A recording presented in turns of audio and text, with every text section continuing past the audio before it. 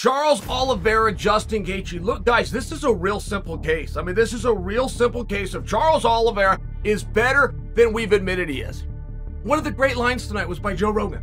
It's the very end of the night. It was the end of this fight, and Joe Rogan said, "It's times like this we gotta get to be back." Now, RC, he's gonna get knocked out. Let's just put it out there. At some Yeah. point, somebody's gonna get him enough to where he's not gonna be able to recover. But Right. until then, it's about to be a fun ride, man, because this dude's in the greatest fights that we've seen in a long time.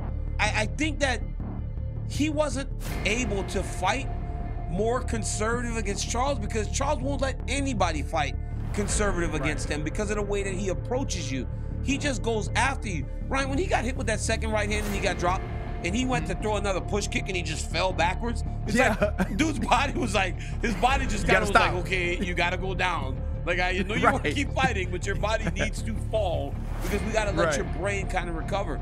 So Justin hit him with a lot of shots, but when he does get up, he doesn't take a step backwards. He goes right back into the fire and he puts pressure on you, and that's why he's so dangerous. Now he hit Justin Gaethje with that right hand that dropped him in the middle of the exchanges. So Justin threw a combination, felt like they were going to take a stop, a break for a second, and the moment Justin stopped throwing, boom, Charles dropped that right hand on him, and that's where you see the difference. Charles rushed him and punched, missed, but when he missed, he went right into back control, right? He went right into the grappling. You can't do that against him, so it allows him to recover.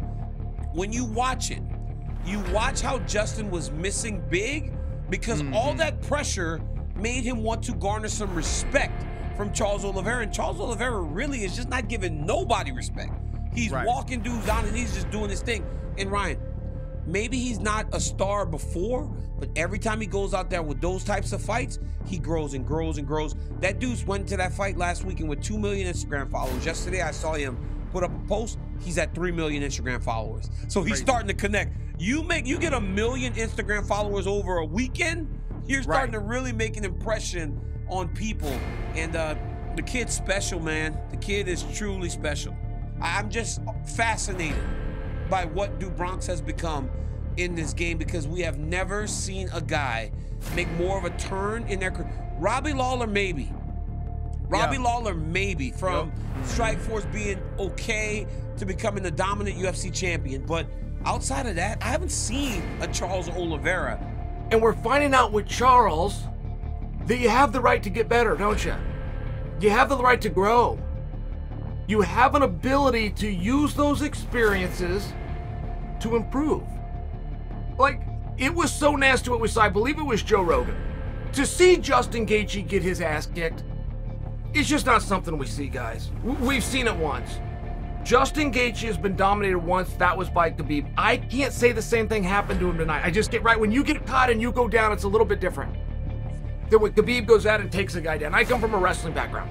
There's something about this man. He is on a mission, and that mission started the moment the referee said fight. Oliveira walked forward, landed a right hand straight away. Beautiful shot, beautiful shot. Gaethje was hurt, and I thought, wow, here we go. But then Gaethje, being the man that he is, because he ain't no walk in the park, he ain't no pussy, right? Gaethje came to fight, and Gaethje came to win. And that's what made that few minutes so spectacular. Because Gaethje hurt him, Gaethje dropped him, Gaethje had the wherewithal, the smart, the fight IQ, the logic, whatever you want to call it, to not follow him down to the ground. I mean, you shouldn't do that. The man has the most submissions in the history of the UFC. I mean, his record is absolutely incredible. It just is. It just is. It's just absolutely goddamn wild. you know, going all the way back to the scale thing, the UFC has now said they're going to have security that protects the scale. The check scales to ensure what happened Right. last weekend doesn't happen again. Because look, call me a cheater all you want, but if I'm the commissioner, guy steps on that 155.2.3, I'm knocking that thing off to the right and saying 155. Let we got a title fight. Let's go. Because 0.2 pounds, what does Right. it really matter ultimately in the grand scheme of things? I think leaving the arena on Saturday, I'm almost like at a loss. And me and Rogan and Anik were all kind of sitting there going, this Charles Oliveira, man, like, what in the world? It was a very iconic celebration, like showing the belt and that sort of thing. And you went straight over to Dana White. Can you reveal what did you actually say to Dana moments after you won in the octagon? Campeão se chama Charles Oliveira, não esqueça disso. The champion is Charles Oliveira. Don't forget that.